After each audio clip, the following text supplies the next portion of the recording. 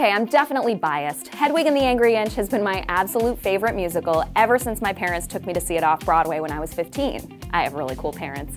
So of course I've seen Neil Patrick Harris, Andrew Rannells, and Michael C. Hall play the transgender East German rocker on Broadway but you really haven't seen Hedwig until you've seen co-creator and original star John Cameron Mitchell, who's stepping back into the heels for the first time in 15 years. He's written a bunch of new jokes for the show, the kick-ass rock songs sound even better than ever, and he's brought back his classic vintage wig. You have to see the original Hedwig in the flesh yourself at the Belasco Theater, but don't say I didn't warn you. You never know when Hedwig's gonna surprise you with a spit shower or a car wash.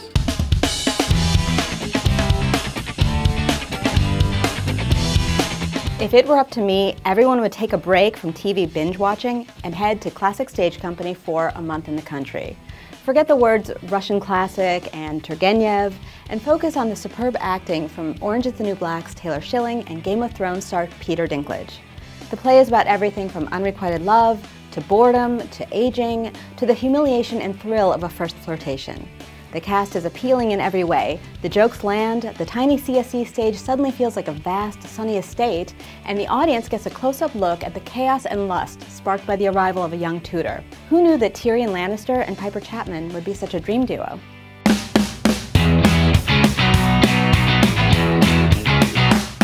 Nick Payne's Constellations is the best show I've seen on Broadway in months.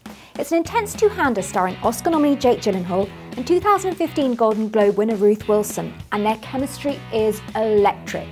The play tells a story of one relationship with infinite possibilities. My mind was fully engaged throughout, and I loved the look of the show. The stage is covered in futuristic balloons. Plus, Constellations' 65 scenes are over and done with in 68 minutes, so you can have dinner at a reasonable hour. Get yourself over to MTC's Samuel J. Friedman Theatre ASAP.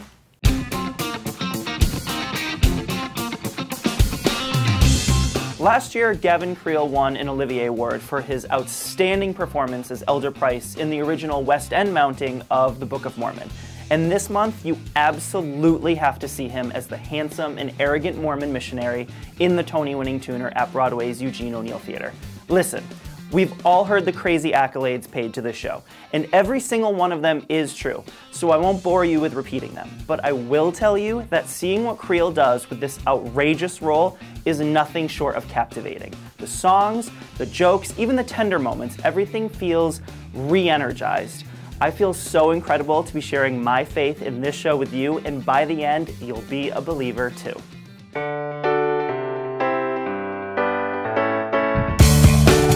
Okay, here's a confession. I had no desire to sit through another version of Into the Woods after having just seen the pretty spectacular film over the holidays. Yet I was intrigued by the new off-Broadway staging at the Laura Pels Theater, mostly because I'd heard great things from its out-of-town runs. I'm so thrilled I gave in and journeyed into the woods once again because this Fiasco Theater production is nothing short of stunning. The whole show is very stripped down and looks nothing like any version of the musical that I've ever seen. The cast of mostly unknowns wear simple costumes and use everyday props to tell the fairy tale plot, and the whole thing kind of has the vibe of a group of friends getting together to tell one of their favorite stories. And this idea makes the show more moving and the themes of community and family more stirring than ever. Trust me when I tell you, you have to go to the woods for yourself.